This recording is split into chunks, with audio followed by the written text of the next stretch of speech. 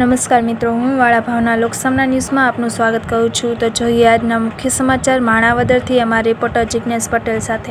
Junagadh Porbandar highway પર આવેલા રાજાશાહી વખતના રસાલા ડેમના પુલ ઉપર અનેક ગાબડાઓ પડી ગયા છે. તેમજ આ પુલ ઉપર રેલિંગ પણ તૂટી ગયેલી હાલતમાં જોવા મળી રહી છે. જે અંગે માણાવદરના ધારાસભ્ય અરવિંદભાઈ લાડાણીએ રસાલા ડેમ ઉપર પડેલા ગાબડા પૂરવા માટે જિલ્લા પંચાયત જૂનાગઢને રજૂઆત કરતા આજ રોજ માણાવદર શહેરના રાજાશાહી વખતના રસાલા ડેમ ઉપર પડેલા ગાબડાઓ પૂરવાની કામગીરી હાથ ધરવામાં આવી હતી.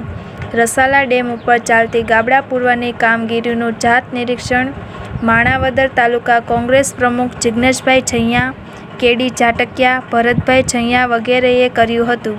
કોન્ટ્રાક્ટરને સૂચના આપી હતી કે સારી કામગીરી કરવી. જી ઓકે. મારું નામ જિજ્ઞેશ છૈયા પ્રમુખ માણાવદર તાલુકા કોંગ્રેસ સમિતિ.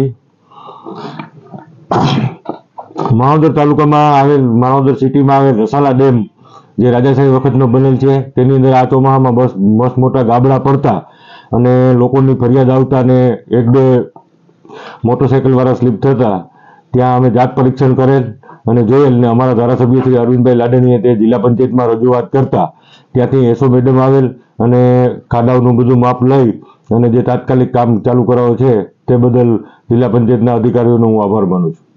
તો જોતા રહો લોકસામના ન્યૂઝ, ફરી મળીશું નવા સમાચાર સાથે.